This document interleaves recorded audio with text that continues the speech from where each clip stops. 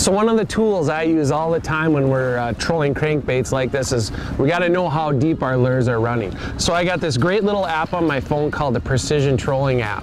And it's got all the information, lots of different baits, and it's very, very easy to use. So I've got the number seven flicker minnow pulled up. I'm targeting 15 feet right now, so I simply wheel down to 15 feet, and with 10 pound XT mono, I have to let 163 feet of line back.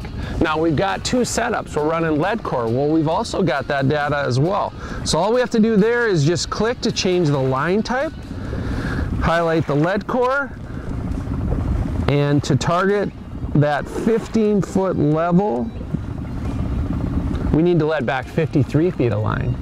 And so that's really awesome. So it, it, really simplifies things, gets my baits quickly into the zone that I'm targeting. Now, if I want to pound those baits on the bottom, I'll let out a little bit more line. If I want them to run a little bit cleaner, I'll shorten them up. So to get your crankbaits in the right zone, the Precision Trolling app is a great tool.